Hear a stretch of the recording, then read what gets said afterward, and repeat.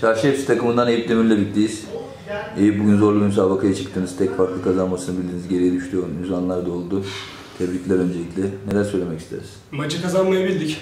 Çok sert bir sağlam maç oldu. Gerek rakip altak yaptı, gerek biz yaptık ama kazanmayı bildik her sefer. Her seferinde olduğu gibi. Rakip de biraz hırçın oynamaya çalışmaya çalıştılar ama futboldan biraz koptular. Özellikle kalecileri çok futbolla alakalı değildi. Biz maç oynamayı bildik. Kazanmayı bildik. Skorer oynadık. Top bizdeydi çoğunlukla. Kazanmayı bildik. Tebrikler, teşekkürler, başarılar. Sağ ol. İstanbul takımından Seda Yıldırım'la birlikteyiz. Kaptan bugün zorlu bir müsabakaya çıktınız. Öne geçtiğiniz anlar oldu ama skoru koruyamadınız. Neler söylemek istersiniz maçla ilgili? Valla sıcak bir havada maç yaptık. Biraz hava bunaltıcı bugün.